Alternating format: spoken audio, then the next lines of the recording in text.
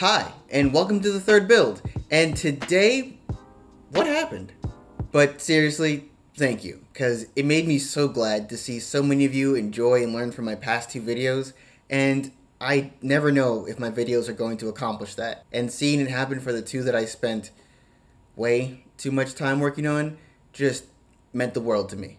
And a special thanks to those who subscribed, because every time somebody does, I just get more determined to make it worth their while. Especially because something's coming, and I have a plan.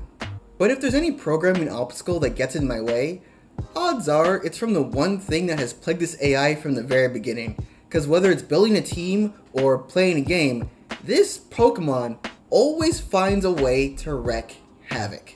Future Sight AI's worst enemy, Ditto. yeah, let me explain. The problem with Ditto comes down to how it acts differently than almost every other Pokemon. Ditto's only purpose is to transform into any Pokemon it's facing by copying its moves, stats, and abilities. Now, in theory, that should make Ditto the easiest to handle since it'd always be acting like another regular Pokemon. But, Ditto cannot make a perfect copy, most notably leaving out its foe's health stat and item. And with those two exceptions, Ditto transforms from the AI's dream foe to the king of the bane of any programmer's existence edge cases. The reason why edge cases are such a problem is that they're situations that don't happen all that often, but if you don't account for them, they can cause some serious trouble when they do. The AI could work normally without doing anything special for Ditto, but when that pink blob does transform, anything that can go wrong will go wrong. Because I've seen it do things from make a whole day's worth of training worthless to make the AI think it has 25 moves, or even just crash the whole system entirely. So let's just break this down and start with the place where I realized that this slime was becoming my least favorite Pokemon. The AI initially learned to play by keeping track of every Pokemon's actions across tons of battles. I thought my approach to attribute actions to the Pokemon who did them worked, but because I wasn't covering the edge cases of the Pokemon being a transformed Ditto, the data I got back was always off. It either come back thinking Ditto simultaneously had all the stats and all the moves of the Pokemon the AI saw it transform into, making it look like some kind of ultra threat, which doesn't work because, well, sorry Ditto, but you ain't all that or having no data on Ditto and attributing all of its actions to the Pokemon it transformed from, which also doesn't work because how you play with a transformed version of a Pokemon is usually different. So fine, I'll just make an exception for whenever Ditto's on the field. Well, I tried that, but that just revealed another unhandled case, where Ditto can switch in while staying itself and having to transform one turn later with the move Transform. And because Transform is a move, which would not exist without Ditto, it can be learned by one of the most used Pokemon, which just amplifies and complicates all the existing cases. Also, in the previous games, being a move comes with the wonderful perk of being used through metronome. That move is just a problem onto itself, but figuring out how to deal with the edge cases of both transform and metronome combined? okay, let me calm down for a second.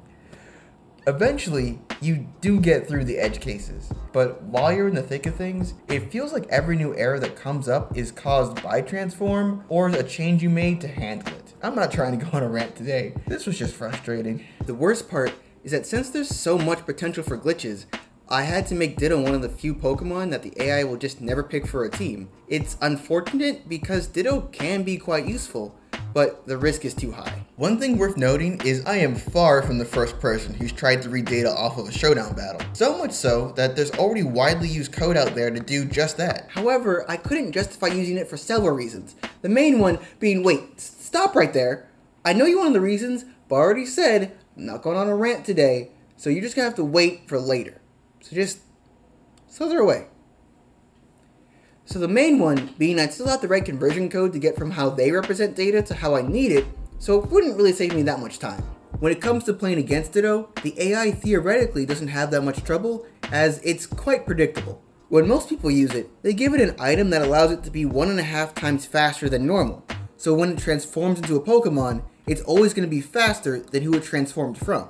This means that the quickest way to deal with it is to somehow remove its item so it's no longer faster. However, by making the best move for the battle, The AI is making the worst move for itself, and that's because of the worst edge case of them all, speed ties. When two Pokemon have equal speed, the game will break the tie by randomly choosing which one goes first. Since the AI wants to look at every possibility of a random event to make the best decision, speed ties not only double the number of situations it needs to explore, but also that doubling happens on every turn it looks ahead. This means that if the AI wanted to look three turns ahead, in the worst case scenario, a decision that would normally take 5 seconds would now take over 20.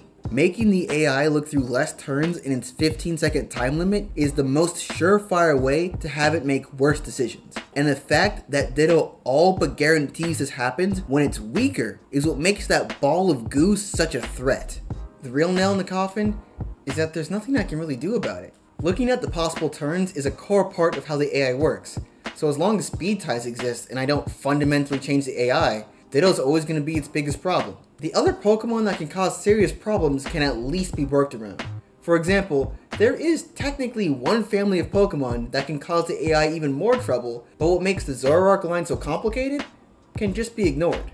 They cause trouble on the inverse damage calculation side because they also transform, but they turn into one of their allies while keeping their own stats and moves. This means that if you're trying to do calculations and they're on the opponent's team, you don't know if the damage is coming from the actual Pokemon or the illusion that Zoroark is putting on. Now there are ways to figure out if it is Zoroark by looking at the moves they're using, the damage they're taking, and so forth and so on. But when I mapped out how much extra code I would have to write to handle this mon that almost no one uses, I just didn't. At the end of the day, I do this project in my free time, which means I often have to be selective in what parts I can work on, and handling this mod just wasn't one of them. That means that right now, the solution is to just not do inverse damage calculation when Zoroark is on the opponent's team. And avoiding the situation isn't the best way to handle an edge case, but sometimes it's the right one. While we're on the subject, here are some honorable mentions of Pokemon that can cause some problems. Smeargle. Its whole gimmick is that it can learn any move, and despite its role on teams being pretty consistent, forget move predictions, you'll get lost trying to figure out what moves that it has. And then there's Aegislash, who, besides just being very good, is one of the four Pokemon that changes forms back and forth during battle, which can cause a similar host of problems as Ditto, but the repercussions of messing it up aren't nearly as severe. And this is just a total hunch, but based on what I've had to go through, I'd be willing to bet that the least favorite Pokemon of the developers of this game are one of these three. But we can complain all we want and they're not going anywhere. Because like Ditto is super popular, the other one is super popular, and Smeargle, well, they actually removed Smeargle from the game. Huh. So there are a lot of bugs that could come up while making this AI most of which from situations that I wouldn't even think of. And there's so much room for things to fall apart that there were several times when I just felt buried in bugs and didn't want to work on the project for months. But then I thought that if I could find a way to easily catch these bugs and trace their path back to where they come from, I could stand a chance.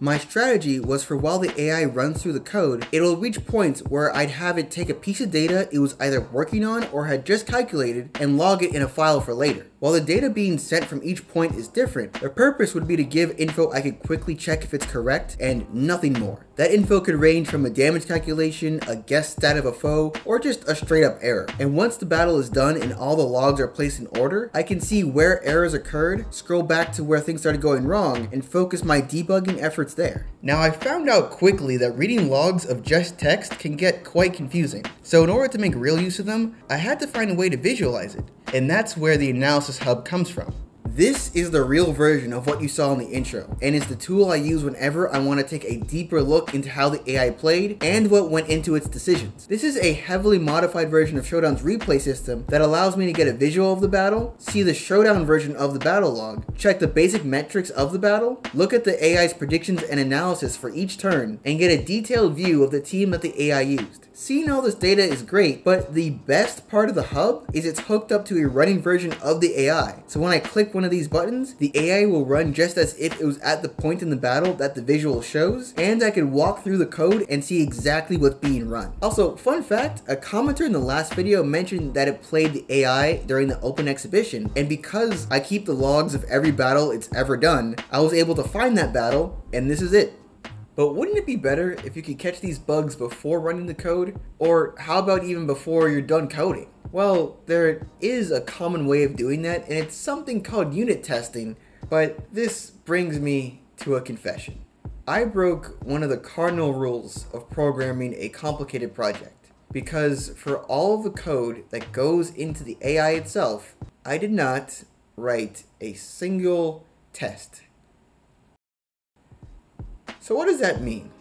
There are many ways to test if the code that you're writing works, but most of them boil down to finding what you want your code to do in certain situations and running the code to check if that's what's done. I chose to do none of those ways, but for my case, I should have chosen unit tests, as those separate large chunks of code into smaller parts to test those parts' functionality by themselves. That should be a good approach, as trying to test the AI as a whole would be like asking, does the AI work well? Which is way too vague to have a good answer for. But breaking that down into a bunch of smaller questions like can it find a Pokemon it's looking for from a list? Or can it click the use Thunderbolt button? And checking if all those answers are yes, it's much easier to know if that overarching answer is yes too. So the fact that I kept avoiding a tool I knew existed, was effective, and was created exactly for projects like this is just about inexcusable. And if you expected me to pause and tell the programmers not to write a comment or something, you got nothing from me because this time I deserve it and I am actively paying the price for it. It's so bad that as I've added more people to the project to work on the code, we have not changed more than a few lines because if people start changing it that don't know all the ins and outs of how it works, it's just gonna break. Well, break more because we've already found some just game ending bugs.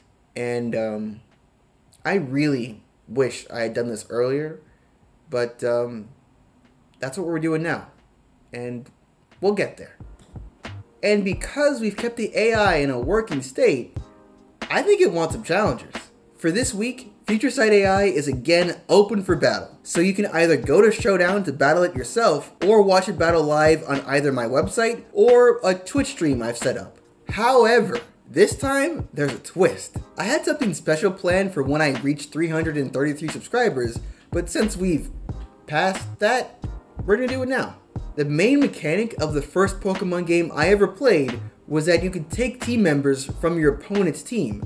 So this time around, the AI is gonna do just that. If you win, Future Sight AI is gonna take its best guess of your team and use that team in the next battle. This gives us a chance to see the AI in some pretty unique situations. So I want to challenge y'all to bring some absolute chaos. Like, give me those gimmick teams. When those level ones? Show me those Shedinjas. And as long as you're battling in one of these formats and you don't bring any of the problem children, you'll be able to see what the AI can do with whatever craziness you bring. Wait, I just told y'all exactly how to beat it. There are still some critical bugs, and I'm letting you battle it? What am I doing? Well, here's the thing.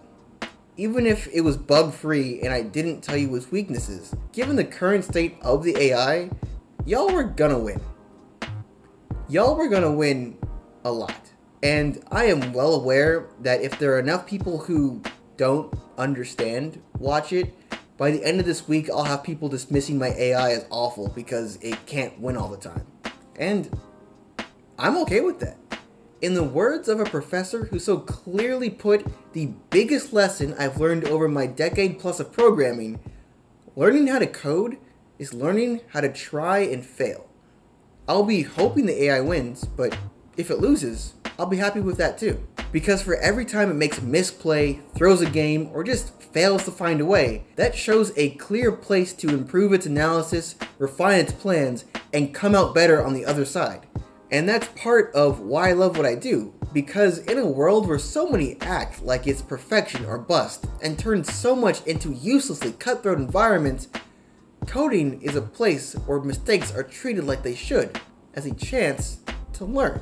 And yes, there are plenty of places here where messing up can have some serious consequences. But the goal is that you've failed an abundance of times so that way when it really counts, you've already learned enough. So bring it on. Give the AI your worst. Especially because, well, winning hides the mistakes. And finding those are only going to make it better. I'll see you later.